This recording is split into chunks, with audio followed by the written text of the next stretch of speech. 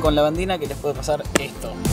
Bueno, eh, en muchos de mis comentarios me preguntan por qué yo no edito las miniaturas de mis videos. Por supuesto, esto no es real, yo edito todas y cada una de mis miniaturas, pero claro, yo tengo una estrategia diferente a la que la mayoría tiene. Yo no pongo círculos, borde blanco, todas esas cosas yo no las uso, sino que yo hice más una investigación en mi nicho, que era lo que funcionaba. Encontré que cosas como el minimalismo funciona, pero no precisamente eso quiere decir que las miniaturas no estén editadas. Por eso en este video quiero mostrarles algunas y me voy a poner esto porque aún así no veo porque me refleja la luz. Vamos a ver un par de miniaturas que ya hace un año y medio vengo haciendo y que parece muchas que no están editadas, pero la verdad que me dicen justamente no está editada porque no tiene texto. Una miniatura no tiene que tener sí o sí texto. Al contrario, si puede impactar con la imagen sola, mejor. Yo soy partidario de que una imagen vale más que mil palabras. Por eso es como que me baso mucho en una sola imagen que impacte y complementado con el título, por supuesto, porque es un combo. Pero vamos a ver un par de ejemplos. A ver, pongo acá porque está el sol, así no entra directamente al, a la cámara. Hasta la terraza mía es horrible, no tengo un lugar donde grabar. Sinceramente, bueno, después cuando esté más abajo el sol vamos a ir a un lugar más lindo. Bueno, acá tienen un ejemplo realmente de que sí edito miniaturas y que hago miniaturas especiales como esta, que es como un, como un, no, es el programa de edición, es el Premiere Pro, porque justamente enseñaba cómo editar en Premiere Pro y bueno, le di como una perspectiva diferente porque a mí también me gusta jugar mucho con diferentes planos, ya sea de imagen como también de 3D, ¿no? Así como que esté movido. Entonces, bueno, en este caso le di una perspectiva diferente. Después tengo otra que, bueno, esta sí, está editada y está reeditada porque me gusta mucho ese look cómic eh, y bueno, quise imitarlo en esto que era como una competencia de fotografía que habíamos hecho con Waco. Eh, esta sí está editada, tiene diferentes capas, con diferentes cosas, eh, con diferentes efectos, de todo. A esta creo que es la miniatura que más le dediqué tiempo. Se pueden ver errores, por ejemplo, atrás de la oreja de Waco hay otra oreja porque claramente separé los sujetos de, bueno, el fondo y como que lo quise agrandar, entonces bueno, son cosas que ahora me doy cuenta, pero bueno, esta, bueno, esta sí la hice justamente hace un año, que en realidad esta parece que no está editada porque es contraluz y es como una foto bastante simple, pero en realidad el árbol que está ahí al costado estaba como muy grande, abarcaba mucho más, yo tuve que editarlo, tuve que sacarlo, creo que abajo también había un par de detalles, porque me gustaba que la imagen esté como contrastada y que yo me separe del fondo, ¿no? Qué, qué viento, de repente Luego, bueno, esta que parece realmente que no está editada, que no le hice nada, pero en realidad, bueno, aparte del revelado, ¿no? De darle eh, como el tono que quería darle, como que le puse, si bien bien, un flare, porque me gusta ponerle muchos flares a las imágenes. Le agregué un flare porque venía la luz de costado. No, es un detalle pequeño, pero yo, para mí, suma. Bueno, esta sí, esta sí que no está editada, bueno, está revelada por supuesto, le di los tonos de colores, pero la verdad que la foto fue sacada así, no siempre, obviamente necesita edición, a mí me gusta que salga todo de entrada bien, y esta foto, que, o sea, tenía un iPhone, y los iPhone tienen muy buena calidad de imagen en la pantalla, y se dio todo justo y fue como que la foto perfecta. Me encanta. Esta es una de mis fotos favoritas, de hecho. La funda que tenía ese celular hizo que resaltara más el naranja y como que me gusta muchísimo. Los colores son fascinantes y aparte fue un video de un día que lo recuerdo muy lindo y, bueno, eso. Si quieren les dejo acá el video. Me voy a correr un poco porque estoy podrido de que el viento me mate. Está mejor el paisaje. Ahí va. Una sillita genial, fantástico.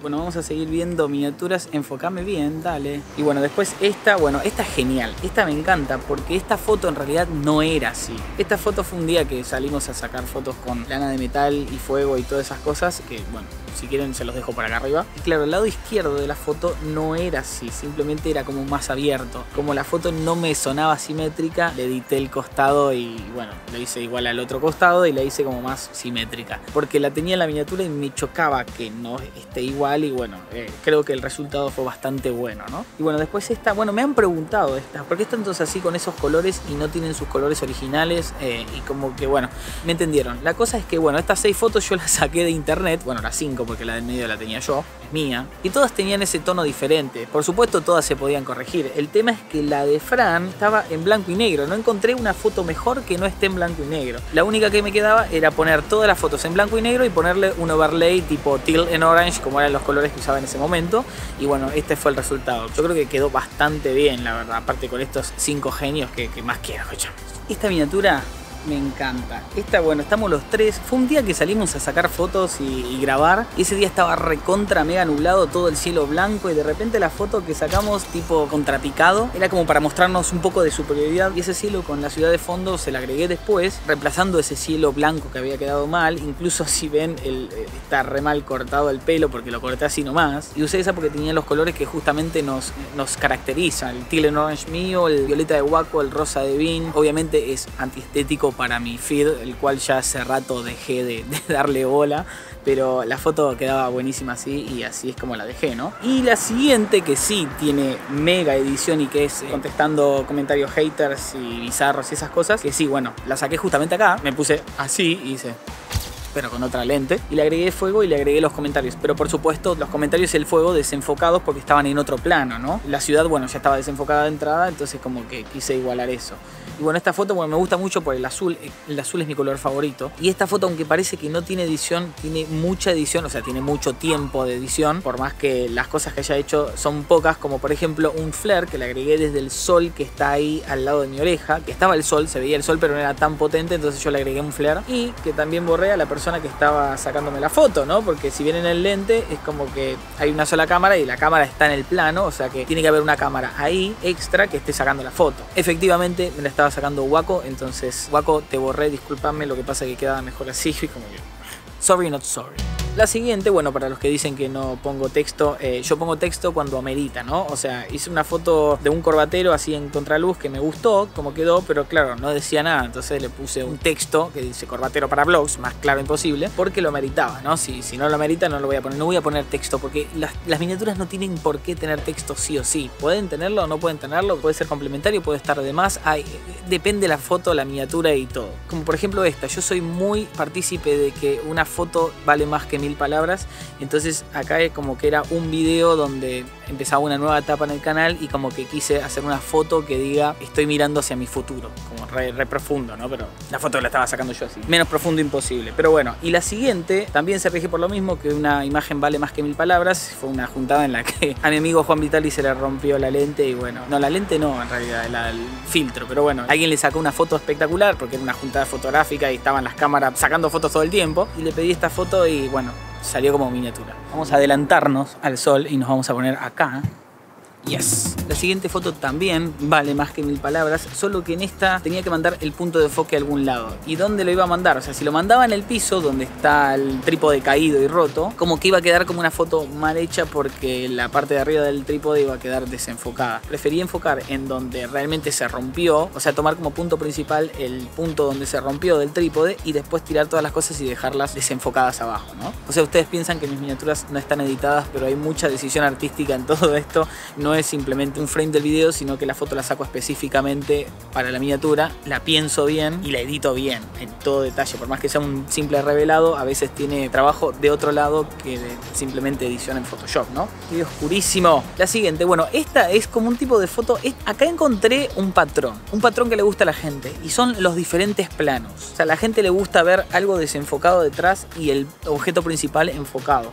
¿Por qué digo esto? Porque después, el siguiente video que subí fue de una sección que hasta el día de hoy sigue y que tiene mucho éxito y las miniaturas justamente son así, todas iguales por supuesto para seguir una estética de esa, de esa sección, pero el celular, o sea la imagen principal está enfocada y hay un plano atrás que sería mi cara que está desenfocada. Y pasa mucho con otras miniaturas que también he hecho porque parece que a ustedes les gustan los diferentes planos de, las imágenes, ¿no? Así que eso es lo que me funciona a mí. Y ahora, esta miniatura, bueno, esta tremenda miniatura, porque lo dije en un video incluso, hubo alguien que vio la miniatura, no le interesaba sobre cámaras ni nada, pero entró porque vio como que era re futurista y eso, entonces llamó la atención, claramente. Y esta miniatura me llevó mucho trabajo, no por los colores, porque básicamente la edición de, revelado es bastante normal, sino que me llevó mucho sacar todos los fierros que había alrededor y todas las líneas negras que había, porque esto no estaba hecho en un fondo blanco, no tengo un fondo blanco absoluto, sino que tengo fondos blancos con líneas por todos lados y qué sé yo, entonces tuve que sacar eso con Photoshop, fue un laburo de negro, pero bueno, lo logré. Quedó bastante bien para lo que era en un principio, ¿no? O sea que, bueno, ahí tienen algo de edición,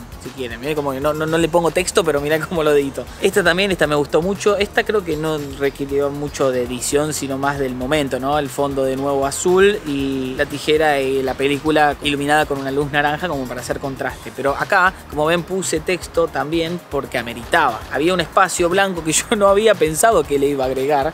Y después cuando estaba revelando la foto digo, che, acá tengo que poner un texto, otra cosa no entra. Y la siguiente foto, esta, bueno, esta foto se mega camufla la edición, porque si vos la ves es como, wow, buenísimo, está perfecto, pero sacando los detalles que le saqué, como por ejemplo las pelucitas y todo eso, que bueno, con esta lente buena se capta todo. La lente del objetivo, bueno, esto no se puede llamar objetivo, pero que tenía, la lente que estaba girada, daba el reflejo de la luz con la que estaba iluminando. Y era una luz rectangular con líneas y era como que no quedaba bien. Entonces yo agarré una imagen de internet que encima era un dibujo, ¿no? Un dibujo. Y se lo puse ahí y lo reemplacé y le di, bueno, el color y todo y fue como... Pero la verdad que quedó bien. O sea, lo importante es el resultado final. No importa cómo llegues a ese resultado final, lo importante es el resultado final. Siguiente foto, bueno, esto es completamente un montaje. Yo no tengo una Mac, no tengo tantos dólares y mucho menos tengo un iPen. Yo no sabía que existían. Busqué iPen porque me pareció algo lógico para poner un lápiz de, de Apple. Esta miniatura, que bueno, representa como lo que sería el look cinematográfico, porque en ese video hablaba sobre eso. Encima, esta es la segunda versión. O sea, la primera versión tenía dos barras negras, lo cual tenía lógica porque yo estaba hablando de, de cómo lograr el look cinematográfico. Explicaba por qué algunos usaban las barras negras, cuando en realidad no hay que usarlas, pero bueno, vayan al video y lo van a ver. Y le saqué las barras negras y el video empezó a llamar más la atención, la miniatura empezó a llamar más la atención que entraba más gente y el CTR me subió. O sea, importante. Capté a la gente que realmente no va a usar nunca esas barras negras de mierda en los videos. Perfecto. Gente inteligente. Bueno, estas son simplemente tres filtros, los cuales lo, los paré, los dejé así parados, gracias a una cinta doble faz que pegué en la mesa. Si vemos bien en detalle, se ven. El filtro del medio lo tuve que editar porque no tengo ese filtro. Y bueno, y después el reflejo también edité un poco, porque la verdad que no daba que se vea exactamente igual, entonces bueno, le hice esa edición. Y como ven, los filtros son de color azul en los aros, porque justamente esto es una foto larga exposición. Yo saqué la foto tipo dos segundos y empecé a iluminar con una linterna los aros de, del, del filtro. Y como la luz era fría, entonces como que se vio así y después, bueno, resalté el azul y como que quedó impactante, ¿no? Porque es azul, el aro, parece como que los aros realmente fueran azules, pero bueno, me gustó mucho como quedó. Y esto tiene una versión de color azul también, que no funcionó, por cierto, por eso la saqué, pero a mí me gustaba más. A la gente parece que no le gustó, pero a mí me gustaba más. Bueno, esta también es otra foto contestando haters, que también hice lo mismo, solo que en esta tendría que haber enfocado mi cara, porque pensé que iba a quedar bien enfocado mi mano haciendo fuck pero como que no se nota mucho, entonces como que parece que la foto está desenfocada. Bueno, básicamente esta foto, como el cielo estaba explotado, por más que estaba lindo ese día, se lo reemplacé por un cielo azul, le agregué en otros planos de nuevo el fuego y los comentarios, y le agregué un flare, por supuesto, y esta foto, bueno, esta es una de las miniaturas que más me gustan, puramente un montaje. De hecho, cuando sacamos la foto, ese día estaba nublado, era más al mediodía, se veía todo muy, muy uniforme y de repente, bueno, hice esta edición, le agregué un atardecer, lo oscurecí un poco más, lo hice como un atardecer hermoso y bueno, este, si quieren ver el montaje este completo, lo subí a mi Instagram junto a otros montajes más, porque sí, me gusta hacer montajes también, así simples, ¿no? Pero me gusta compartirlos con ustedes para que vean cómo es el proceso y bueno, y esta foto me encantó porque quedó espectacular.